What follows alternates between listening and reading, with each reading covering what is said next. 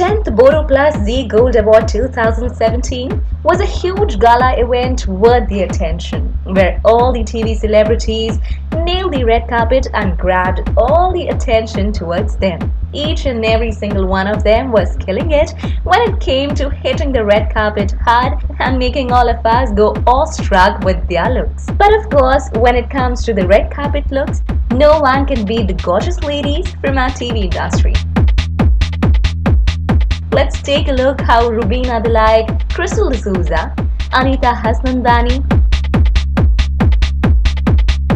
and Mouni Roy sizzled the red carpet like nothing else. Take a look.